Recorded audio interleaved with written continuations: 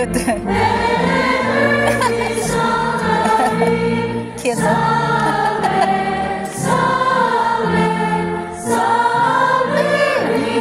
Dami ng angel ngayon. Ah. Ang dami ng angel oh.